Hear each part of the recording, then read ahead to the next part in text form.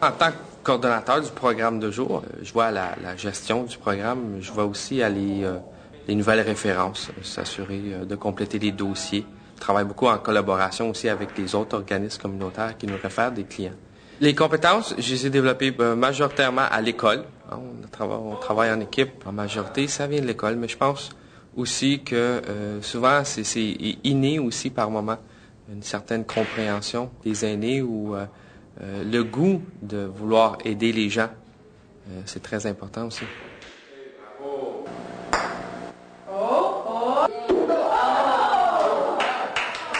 Je pense que travaillant dans un milieu communautaire, on s'entend qu'on n'a pas le budget dont on aimerait euh, obtenir.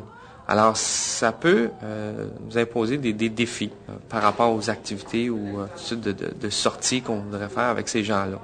Évidemment, je pense qu'il y a beaucoup d'avenir. Il y a une population vieillissante, en augmentation, euh, d'année en année. Alors, euh, il y a beaucoup euh, d'emplois qui vont s'ouvrir d'ici quelques années. L'échelle salariale peut varier, je vous dirais, tout dépendant du milieu dont on travaille, entre 35 000 et 40 000 Les conseils, moi, que je donnerais aux jeunes qui, qui débutent euh, ou qui veulent aller étudier dans ce domaine, c'est euh, de s'impliquer, s'impliquer dans la communauté. Alors, c'est de faire du bénévolat. À la fin de la journée, on, on a euh, un sens d'accomplissement, on a fait quelque chose de bien, on a aidé les gens.